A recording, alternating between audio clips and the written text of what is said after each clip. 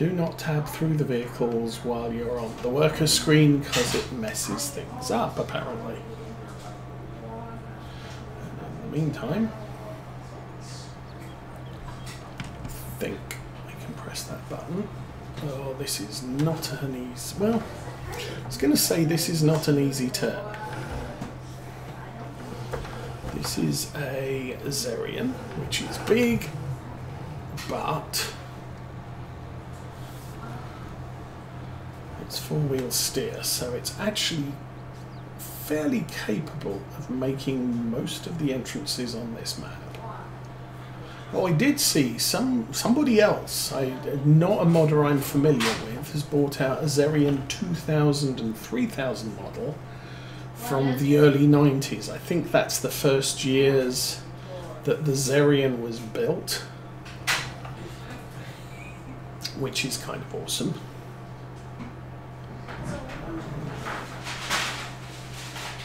It's a very low horsepower tractor, very similar to this, but yeah, not quite as big, not quite as much horsepower, but still, it's a good. It's an option. Unfortunately, it's like we're in the final year of probably the final year of uh, Farming Simulator 22. So um, I probably don't need it because I've already got 3,000. Or was it 3,500? I can't remember, but No square. I don't know what happened to the square. I haven't seen much in the way of any other Um, I walked myself away. mods that have taken taken my fancy. Oh, this man's right here. I did not see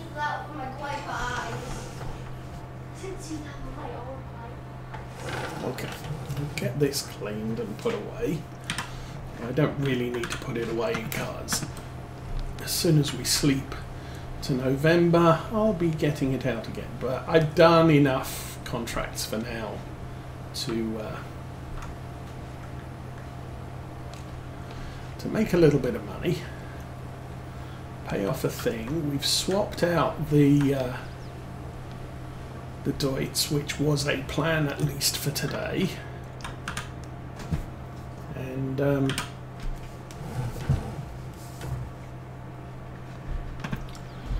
do I need? Yes, I do not need the uh, the big the big monster thing that's at the back there. That's the maize harvester. We don't have any.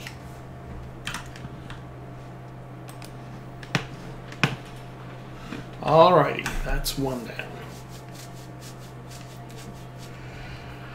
He's still going.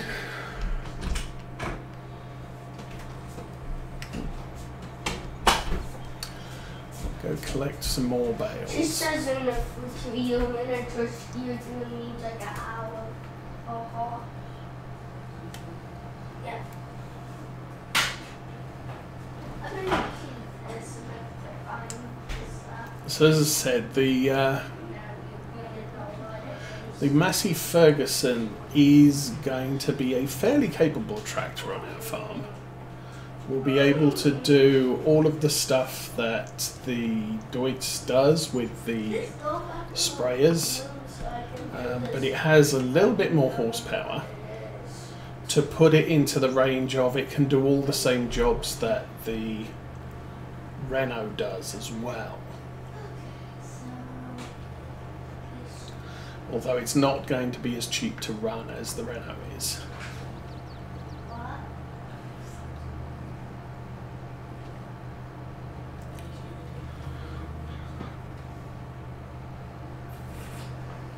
So, uh, Go park in your room. No, you are not. Why are you talking if you're sleeping?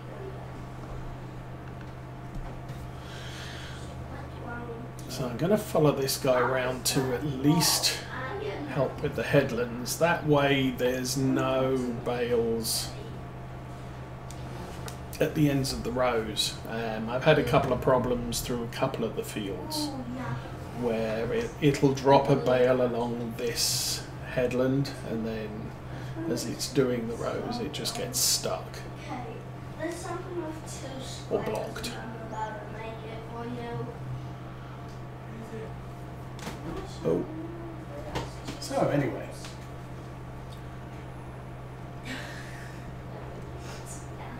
I took this week off work so um, since I use the work PC as a uh, a Twitter monitor,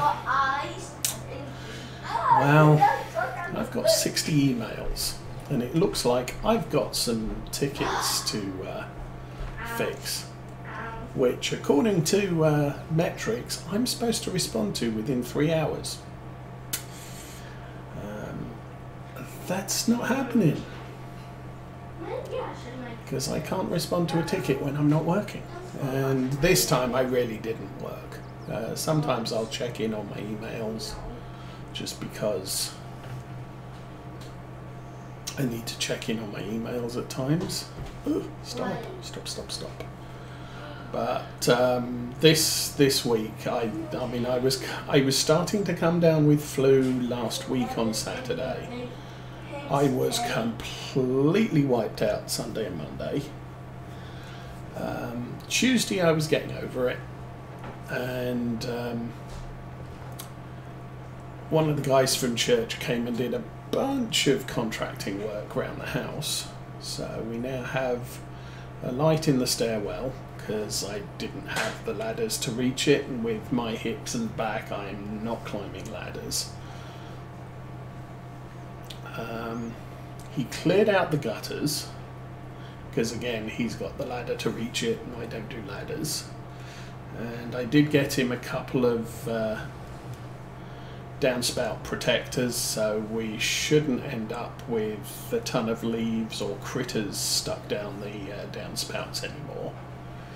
Um, he strengthened the railing by replacing the uh, the top cross piece of wood. And to be fair, I mean the railings are probably about twenty years old, and um, taken the brunt of weather, so they're partially rotted through. And I was I was concerned that um, falling against them would be a bad thing because you would probably end up on the driveway below. But um, he strengthened that, so that's good. He built Mrs. Oseh a clothesline outside, so she's happy too. And he fixed the AC duct work in the basement. So now I had to go and turn the temperature down on the uh, the thermostat because it's not pumping half the hot air into the basement. So that should save us a little bit of money in savings in um, heating bills and cooling bills.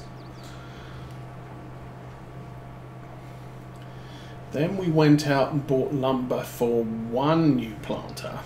I wanted to, yeah, we we went down to uh, Menards, bought the, the. Where are you going? Okay, bought the lumber and. Uh,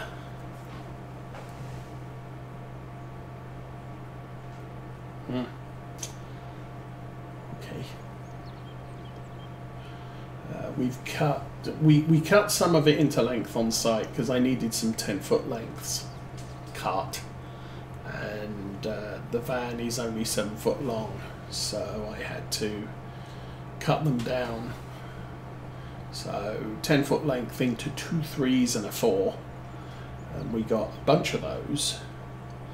We got some more screws and we got some one by six six foot panels to uh, build the sides up with and uh, yeah brought them home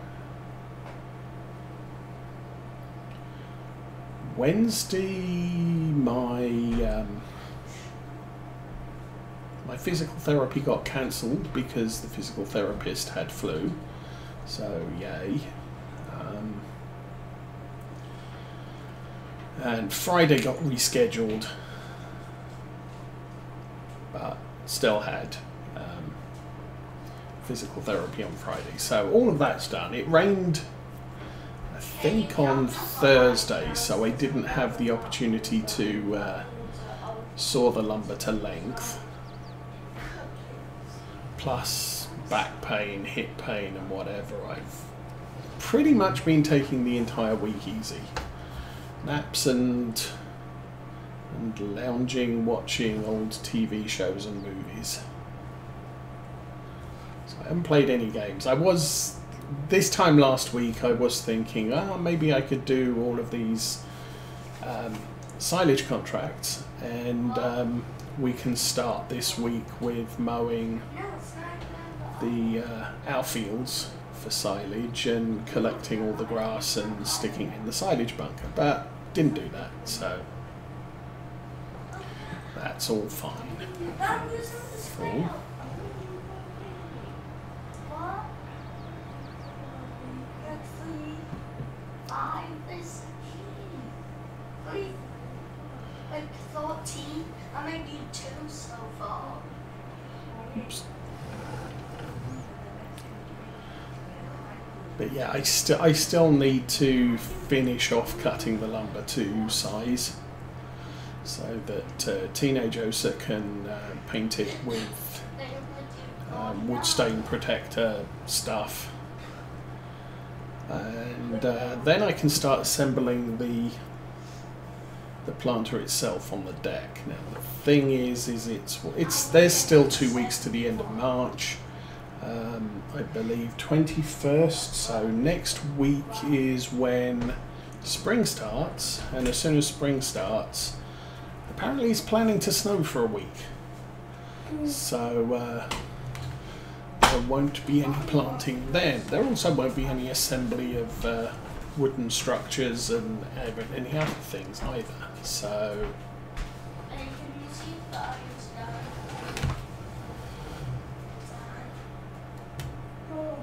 that's a thing. Okay, that should be about right.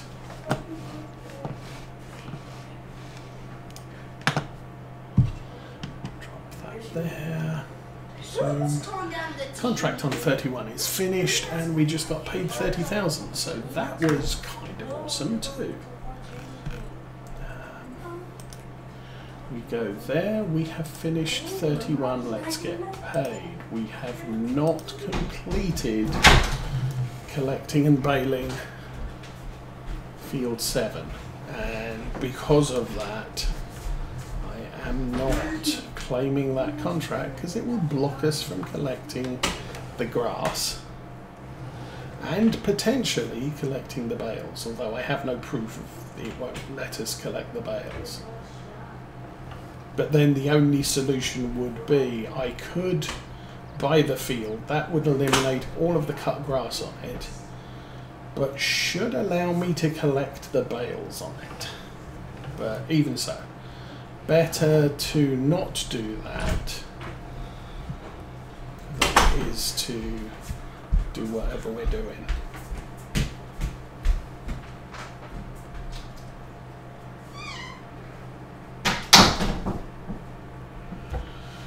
Anyway, there's probably not that more many bales, that many more, more many, lots and lots, all the things, and the crazy words to collect here. Yes. And I might do more of a thorough job with this field.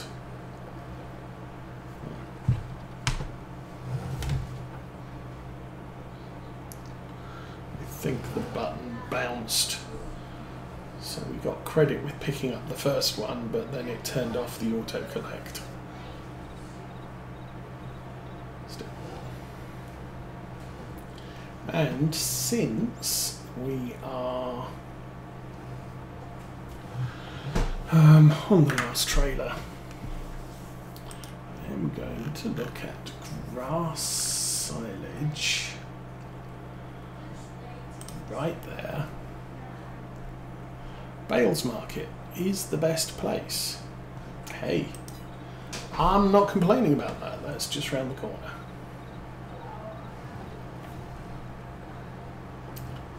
Plus, you get environmental bonus from the uh, the bales and the exports, which you don't get from the BGA.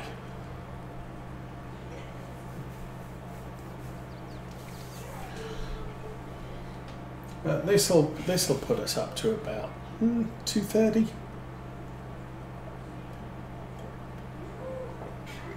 At the end of the day.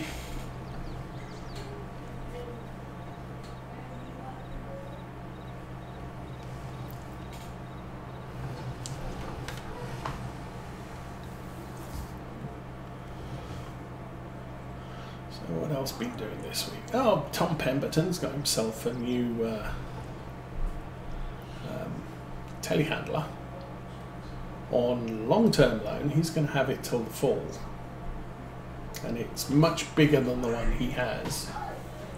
Although it's not as tall. It's about as tall, so it's a, it's a low-profile um, telehandler, which is good for him because he needs he doesn't have the clearance to get in a lot of his sheds.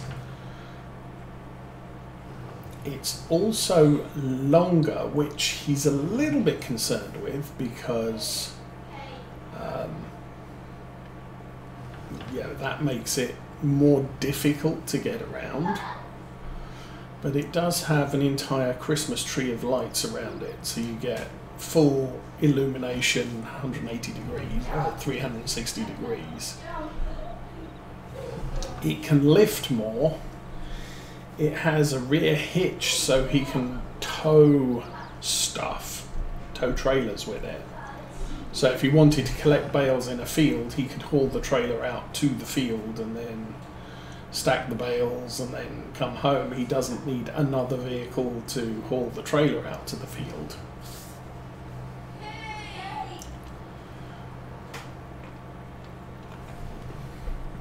But he was saying he would have preferred to have the smaller one because smaller, but it's not as um,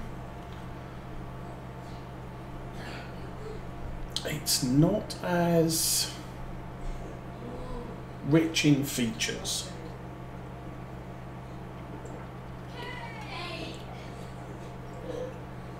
Although it is probably more um,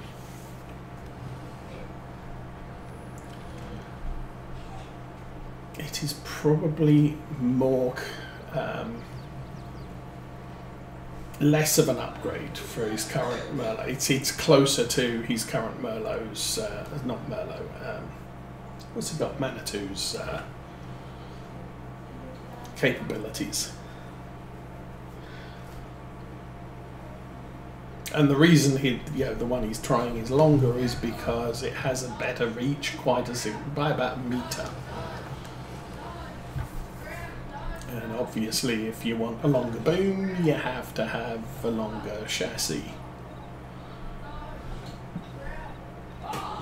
Still, so he's going to have that for a good nine months now, going forwards. Which should give him a lot of opportunities to try it out.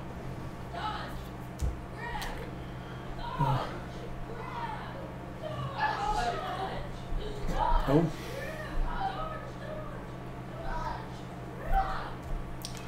Can't think who else I've been watching.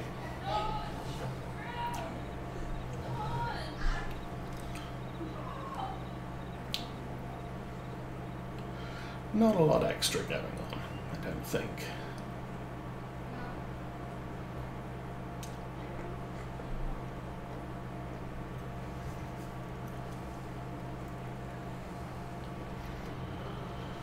Oh, and then this week I have I've got my last two physical therapy sessions. The last one is on Friday, and on Thursday I go see the back specialist. So uh,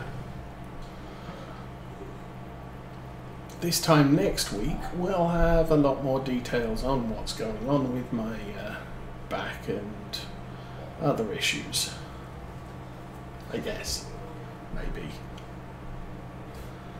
This baler's not doing a good job on this field. Hasn't been too bad on the other two, or the other four.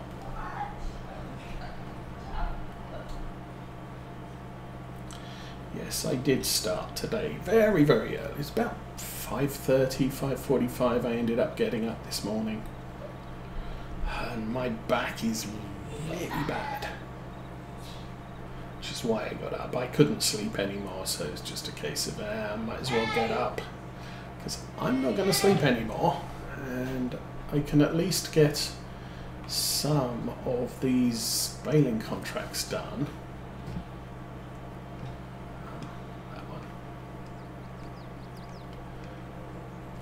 There we go. So you went home. You did indeed. Let's um, pull that up. Clear the copy. Clear the current. And uh, start the engine. Page that down. Lower Unfold. Come on. Good grief.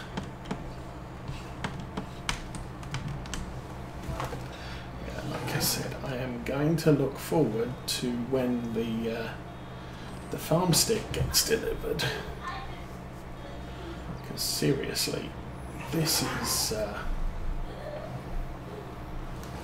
this is a big issue. I don't think running down these rows is particularly advantageous.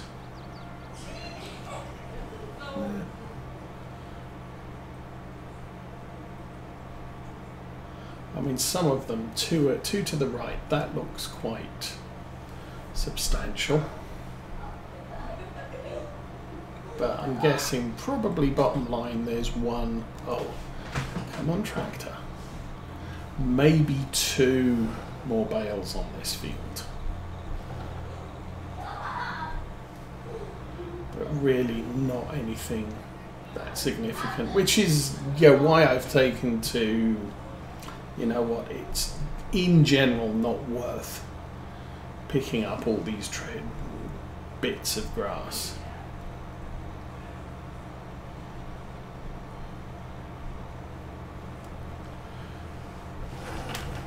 Kind of worth doing the corners because there's a big triangle there that the mower won't pick up under Courseplay, like this bit here.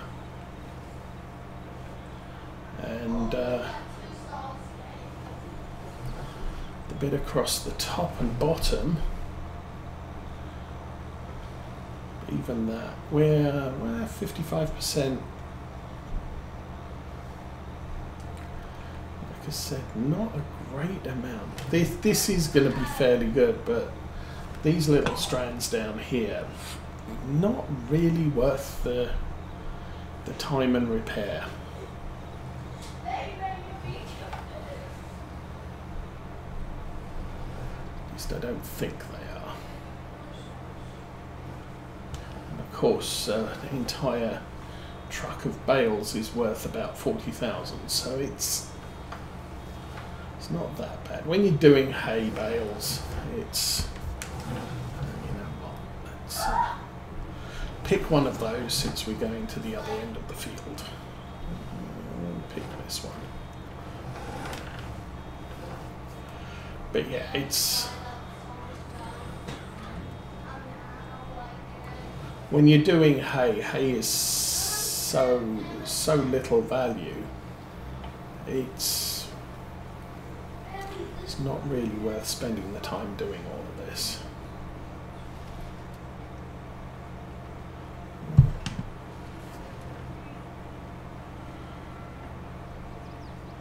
That's two.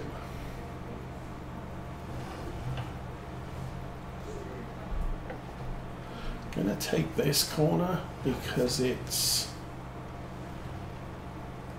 no exit, no access to the outside world we can finish up on the field entrance. And a ton there.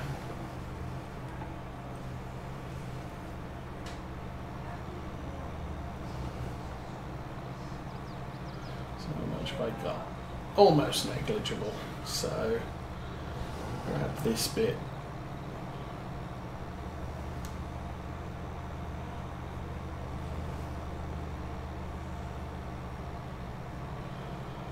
are some bits there that they look good, but really not so much.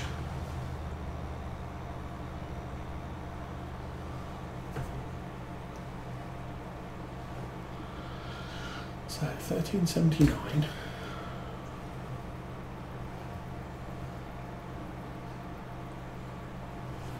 Eh, not bad, I guess. I will do that bit.